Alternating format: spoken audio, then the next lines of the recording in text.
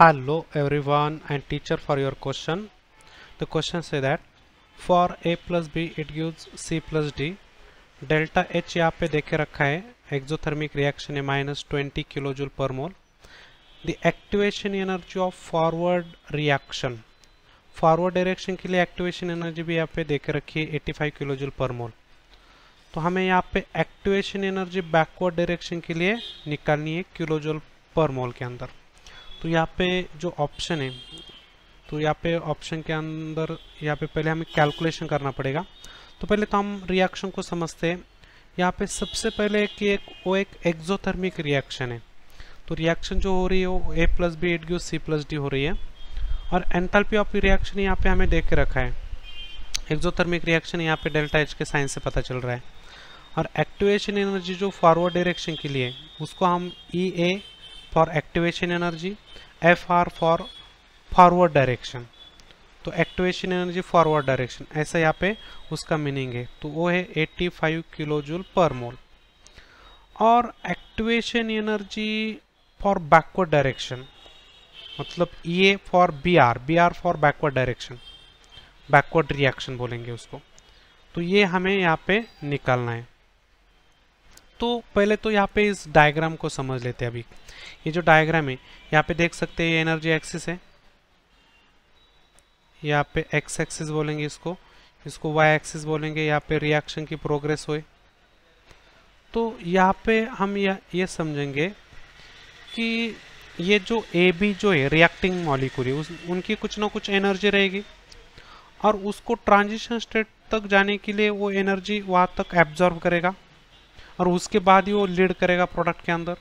तो यहाँ पे आप देख सकते हैं कि रिएक्टेंट की एनर्जी से ट्रांजिशन स्टेट तक वो जो स्टेप है, वो एक एनर्जी एब्जॉर्व हो रही है मतलब एक एंडोथर्मिक स्टेप है। तो हर कोई केमिकल रिएक्शन की फ़र्स्ट स्टेप एंडोथर्मिक रिएक्शन होती है। ओवरऑल रिएक्शन आपकी कुछ भी हो सकती है बट फ़र्स्ट स्टेप तो आपकी ऑलवेज एंडोथर्मिक होना है। तो उसके बाद ही वो प्रोडक्ट के अंदर लीड करेगा। तो यहाँ पे हमें यह समझना पड़ेगा कि एक्जोथर्मिक रिएक्शन है मतलब एनर्जी रिलीज़ हो रही है। इसका मतलब रिएक्टेंट की जो एनर्जी है, उससे कम एनर्जी प्रोडक्ट की होने वाली है? तो यहाँ पे प्रोडक्ट की एनर्जी रिएक्टेंट की एनर्जी से कम है, यहाँ पे समझ में आ रहा है। तो सबसे पहले यहाँ पे ये समझना है कि प्रोडक्ट की एंथैल्पी रिएक्टेंट की एंथैल्पी से कम है। इसीलिए तो साइन यहाँ पे नेगेटिव आया है, क्योंकि फाइनल माइनस इनिशियल हमें करना होता है डेल्टा एच के अंदर।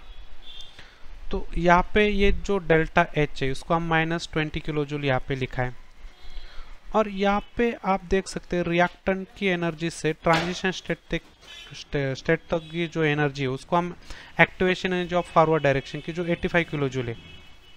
और यहाँ पे आप बैकवर्ड डायरेक्शन जब जाएँगे तो बैकवर्ड डायरेक्शन के लिए जो ब्लू लाइन दिख रही है this is the activation energy of backward direction तो हमें एक फॉर्मूले से जाना पड़ेगा कि एक्ट या तो आप इधर भी कैलकुलेट कर सकते हैं, यदि ये डायग्राम आप समझ चुके हैं। नहीं तो फिर यहाँ पे एक फॉर्मूला यूज़ करेंगे कि activation energy of forward direction वो होती है delta H plus activation energy of backward reaction तो फॉरवर्ड डायरेक्शन के लिए एक्टिवेशन एनर्जी 85 किलो जूल है। और एंथैल्पी जो है, वो माइनस ट्वेंटी किलो जूल पर मोल है। और हमें activation energy of backward reaction निकालनी है तो हमें क्या करना पड़ेगा? Energy activation energy backward direction के लिए निकालनी है तो फिर हमें ये जो माइनस ट्वेंटी जो है, वो इधर आके प्लस ट्वेंटी हो जाएगा तो एट्टी फाइव प्लस ट्वेंटी ये हो जाएगी उसकी एक्टिवेशन एनर्जी बैकवर्ड डायरेक्शन के लिए। तो यहाँ पे भी आप चेक कर सकते हैं, ये जो टोटल एनर्जी है, यहाँ पे मैंने ब्लू लाइन के अंदर जो ड्रॉ की है यहाँ पे देख सकते हैं। तो ये जो एनर्जी है, वो एनर्जी हो जाएगी आपकी enthalpy of reaction plus activation energy of forward direction, जो 85 है प्लस 20 तो ये एनर्जी हो जाएगी आपकी बैकवर्ड डायरेक्शन की एक्टिवेशन एनर्जी तो वो हो जाएगी आपकी 105 किलो जूल पर मोल। तो यहाँ पे ऑप्शन नंबर टू जो है, वो करेक्ट आंसर है। तो यहाँ पे हम ऑप्शन नंबर टू को करेक्ट आंसर है। तो आई पे understand the explanation thank you